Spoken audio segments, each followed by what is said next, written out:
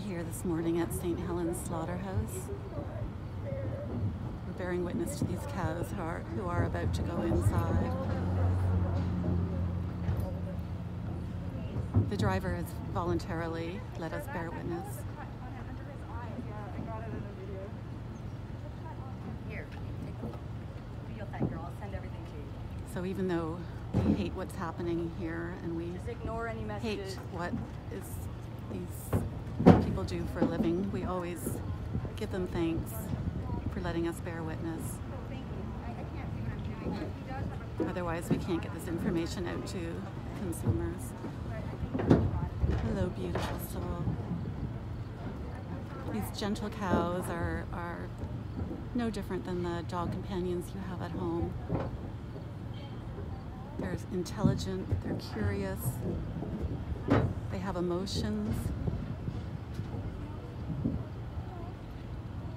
They definitely don't want to be here and they know they're in a bad place. Cows are known for smelling up to five miles away, and the, the scent coming from this horrible kill plant is overwhelming. So they know that they're in a bad place. So we just talk gently to them. All we can do for them at this time. Right, Angel? Yeah. And be their voice.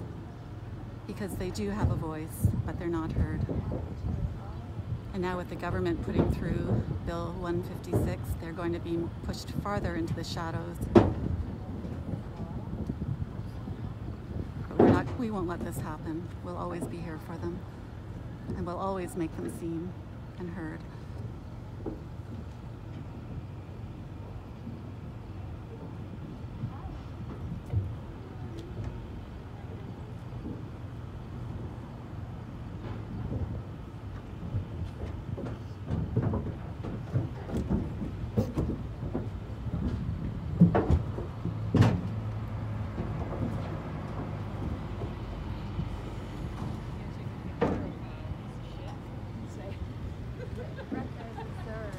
Or like Bill, Bill 156. Oh, that's a good one. Yeah, Bill 156 is right.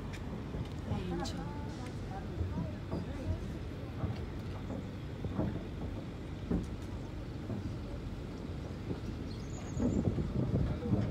Morning, guys. How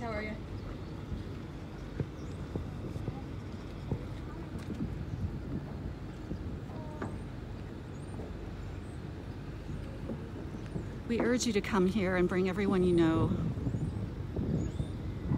To come and look into their eyes and tell them that that meal that you've forgotten, that five minute meal that you've long forgotten, was worth a lifetime of suffering for them.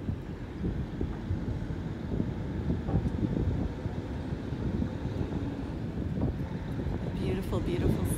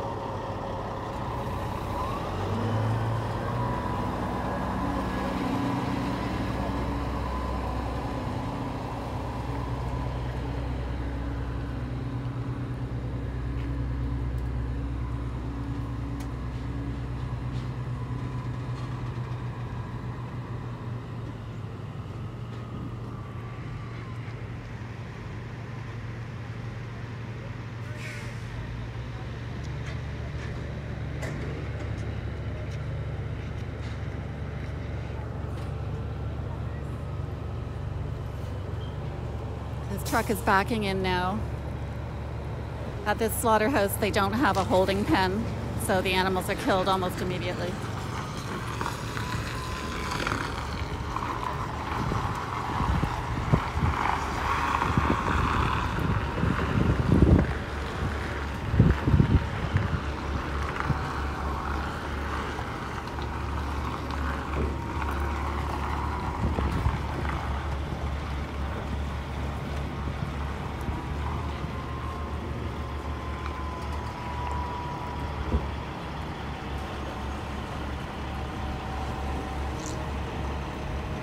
Please send them your love and prayers.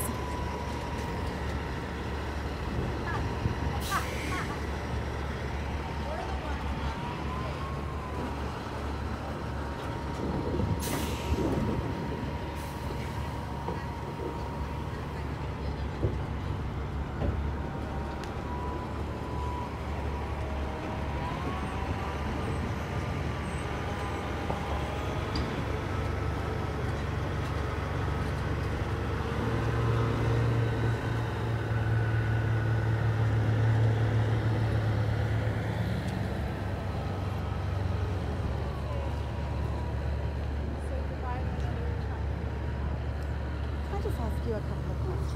Can I ask you a couple of questions? My friend tries. Hi, this is this, this is Pia and Tres, and this is her first time here today. Can you just describe to us what you just witnessed? It's okay. Take your time. They're so sweet. Just, you can just tell they're so sweet. Um, and it just, half of them are, cut. They're all covered in their own shit. It's just disgusting. I didn't even know that this happened so people can eat a burger. It's, I don't know. It's, they deserve better than any, any living creature deserves better than this. I don't even know what to say. I'm actually speechless because I've been a vegan for almost 10 years and this is the first time I've seen the cow. Oh, there's another one. Oh, there's so many. Oh. This is really, really sad. I don't know what to say. They're covered. Oh. I'm sorry, I'm very emotional. We, When you see it, when you see it, in reality, it's uh, a, a million times worse than anything you can see uh, just online or whatever. It's really uh, smells. I could smell the blood from when we walked from the parking lot around, like down the block. You can smell it. It's just terrible. did you know cows can smell from five miles away? Yes. So they're absolutely Yes. know they're in a bad I place know. here Awful to torture animals that way. Into their death. for something we don't even need. It's crazy. Yeah. What, what would you say to people to encourage them to come down here and to bear witness to this and This is the, the this is the greatest injustice in the world. No other injustice will ever ever be fixed until you fix this. This is the root of the problem because you cannot be for justice, uh, human rights, if you are going to go home and eat violence for dinner. It's just there's a, too much of a discrepancy there. It doesn't the energy doesn't match up. So if you really want to be a peaceful person, you have to start with what you put in, the energy you put into your own body. absolutely? And, uh, and until then, uh, every other human's rights, women's rights, children, all of it is, is just a waste of time until you deal with this. That's it. I, I agree 100%. Thank you so much for being here. Thank you, Tres. Thank you, Pia.